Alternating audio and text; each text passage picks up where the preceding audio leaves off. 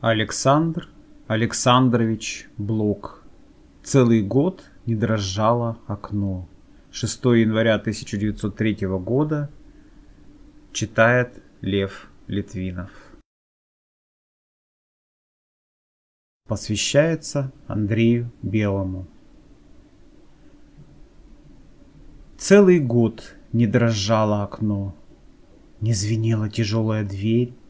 Все забылось, забылось давно, И она отворилась теперь.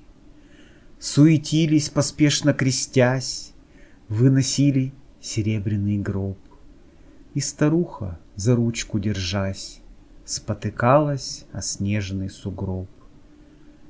Равнодушные лица толпы, Любопытных соседей набег, И кругом протоптали тропы, Осквернив целомудренный снег.